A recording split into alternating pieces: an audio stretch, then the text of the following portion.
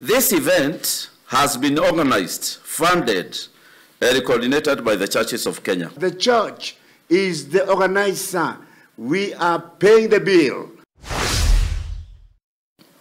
Ben Hinn is an American evangelist, teacher, and author of best-selling books.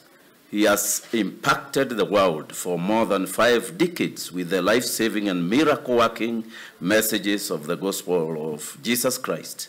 He returns to Kenya after being here for, uh, two decades ago, and we, the churches of Kenya, are privileged to host him.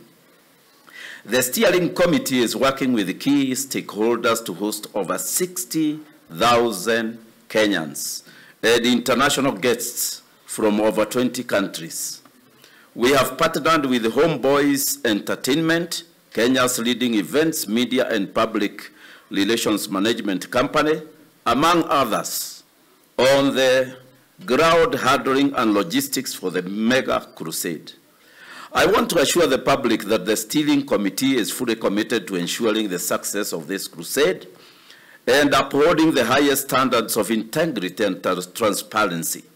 We have worked tirelessly to coordinate the event with the utmost respect for all involved parties. This event has been organized, funded, coordinated by the churches of Kenya, which include both mainstream churches and the evangelical churches in Kenya, with the aim of connecting the body of Christ in Kenya with the global body of Christ. It is common uh, ministry practice for faith leaders from outside Kenya to visit the country and for our Kenyan faith leaders to receive invitations to minister in other countries to enable the close pollination of grace and effective engagement of the fivefold ministry. Now, the government of Kenya is for all of us, and therefore we are all involved except that the church is the organizer. We are paying the bill because God has blessed this nation, and we want everyone to feel welcome. Everyone, every sector, all denominations, all faiths, welcome. This is another new open heaven for the country of Kenya, yet big things are ahead of us. The issue of budget, of course, uh, we are finalizing our budgets, and so we may not bring it out here. The media houses, we shall be communicating to us because we are finalizing with a number of them that we are, have approached. Of course, most of our Christian media houses will be doing it, and also uh, a number of you, we have already talked to your leaders about this. So we shall be bringing that later, uh, especially later in this, this week, after we have finalized with most of the media houses and done some contracts. So we shall be bringing that. Economically, there are over 20 uh, countries of the world that are going to congregate here in Nairobi.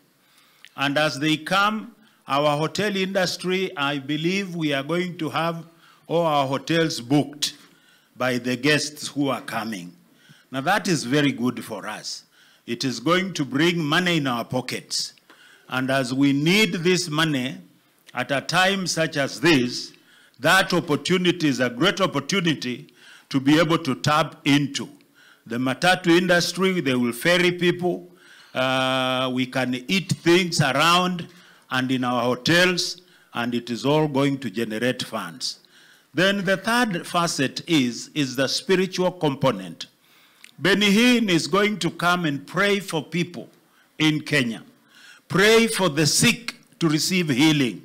Pray for the people who have backslidden to come forward.